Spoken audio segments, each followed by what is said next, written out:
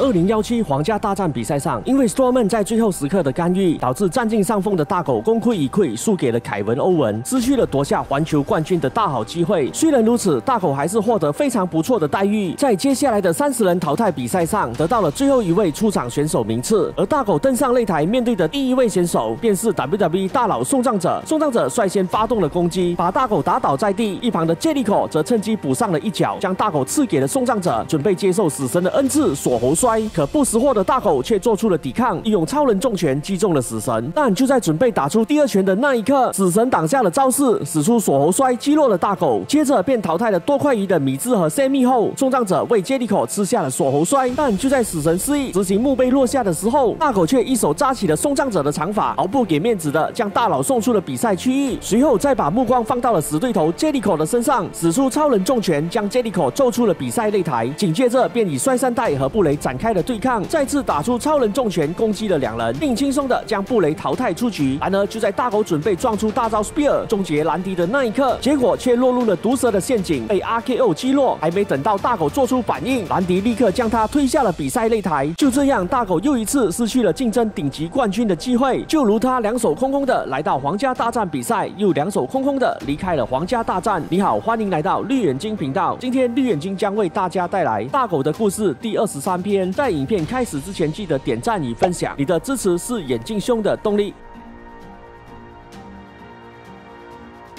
来到皇家大战结束后的首场落节目中，Storm 对自己干预比赛的行为做出了解释。除了不喜欢大狗长得比自己帅以外，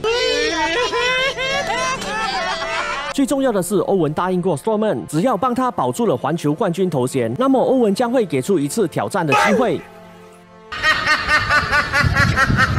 可欧文却在这时选择过河拆桥，极力做出了否认。God, please, no, no! 于是霍利给出了裁决，认为欧文必须兑现承诺，预定了他与 so 之间的比赛。而为了避免 Jericho 对比赛的干扰 so 一不做二不休，直接给了 Jericho 一记天残脚，接着再以锁喉摔让对方失去了能力。然而就在大块头占尽上风，使出 Power Slam 击落了环球冠军之后，大狗来到了现场，利用超人重拳打向了索曼并挥舞麒麟臂将他送下了比赛擂台后，使出 Spear 撞倒了对方。就这样，大狗制造了取消资格，避免了环球冠军一手，让更容易对付的欧文保住了荣誉。而为了对大狗做出报复，Storm 要求了与大狗之间的对决，但一向偏袒大狗的 f o l y 却向 Storm 摆出了一道难题，为巨物预定了一次浪分比赛。Storm 必须同时面对四位选手，只要赢得比赛，那么 f o l y 才会对 Storm 的要求纳入考量。结果主办方却为 Storm 准备了四位连名字都叫不上的选手。就这样，Storm 为对手们进行了叠罗汉，轻易的赢下了比赛胜利。接着便立刻找上了 f o l y 于是为了暂缓 Storm 心中的怒火 f o l y 答应了巨物，在接下来的 Fastlane 主赛场为他与大狗预定了比赛。可得到了比赛后的 Storm 并不打算就此作罢，趁着大狗与新人萨摩亚乔对战的时候，Storm 登陆了体育馆，分散了大狗的注意力，让乔有机可乘，利用抱摔击落了大狗，赢下了加入 WWE 后的首场比赛。而 Storm 则在比赛结束后把握住了机会，将大狗肆虐了一番，并使用 Power Slam 把对手撞进了观众席，向 WWE 宇宙展示了自身的统治力。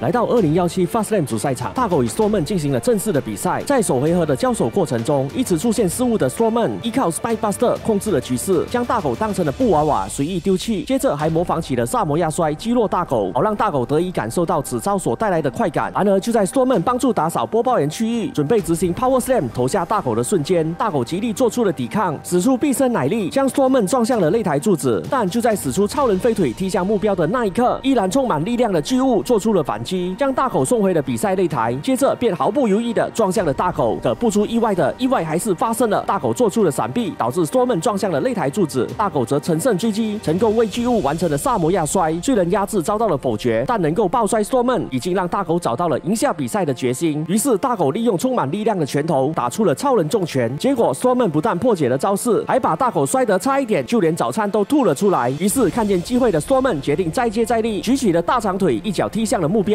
好，不出意外的，意外又在发生了。大狗再次的闪避，让巨物直接从台上掉到了台下，而且它的大长腿看起来似乎伤得不轻。见状后的大狗立刻开足马力，以每小时一百公里的速度踢出了超人飞腿，将 Storm 踢向了防护栏。接着就呜的一声使出大招 Spear，可却被 Storm 挡下了招式，抱起了大狗使出 Power Slam 摔向了播报员区域。可就在 Storm 将大狗送回比赛擂台，准备下一步行动的时候，大狗竟奇迹般使出 Spear 撞倒了 Storm，接着再以连续的超人重拳攻击了对手。而强大的索曼不但屹立不倒，竟还登上了神顶，准备为大口进行飞扑。于是不做不死的索曼终于作死了自己，被大口闪避了招式后，吃下了第二招 Spear。就这样索曼被彻底击垮，大口成功打败了这位重量级选手，从而结束了索曼的不败记录。